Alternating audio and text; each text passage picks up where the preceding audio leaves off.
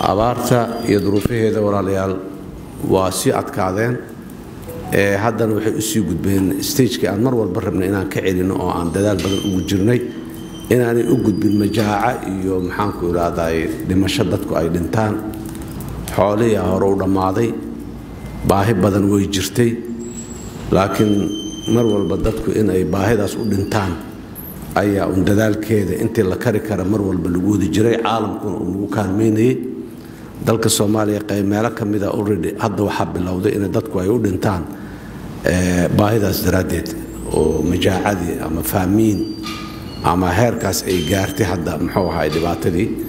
Marka mar kale waxaan rabaa dadka soomaaliyeed ee walaalaha ah meel kastoo ay caalamka ku nool yihiin iyo dalka gudihiisaba meeshaas ayaa duruuftii dalkeennu maraysaa ee dadkeenna dadaalkii aan soo haynay oo faraha badnaa oo aan dadka ugu kaalmaynayna inaan sii kordhinno oo aan wax ku sii darro si aan dadka aan gaari karnaahi ay u bataan oo aan culayska iyo duruufaha gira aan u waxayno. Sax maaha in annaguna aan dherag aan la seexo weyno meelaha qaarkood iyo dadka qaarkiis dadkeennuna ay baahi ay u dhintaan.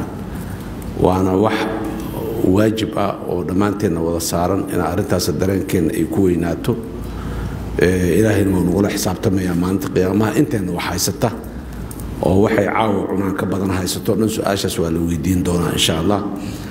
Maalin dhaweyto jimcihii halkan sidoo kale aan ka hadlay waxaan ku sheegay walaalaha inta masaajidkeenna ku jirto oo in yara hadda aan badnayn.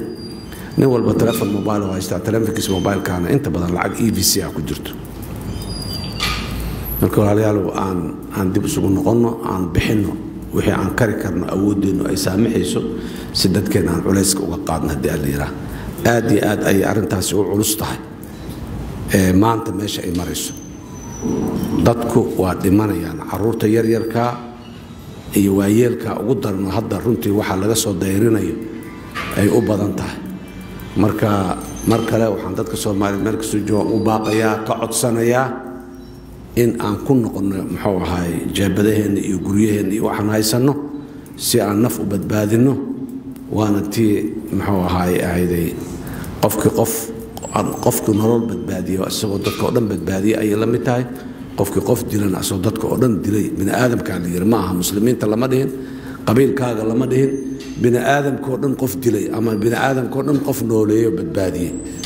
Ayuu qofkaas la mid yahay marka walaalayaal arrintaasi ha nagu taagnaato. Mar kasta wixii aan kari karno oon annagu aan haysano iyo ciddii aan u qaylo dhaami karno wax u sheegi karno dhihi karno war adiga hebelow muxuu ahay gargaarka wax ku darso oo wax gaarsii dadka aan dhihi karno kuwa aan ku tuumsannahay inay wax haystaan intaba.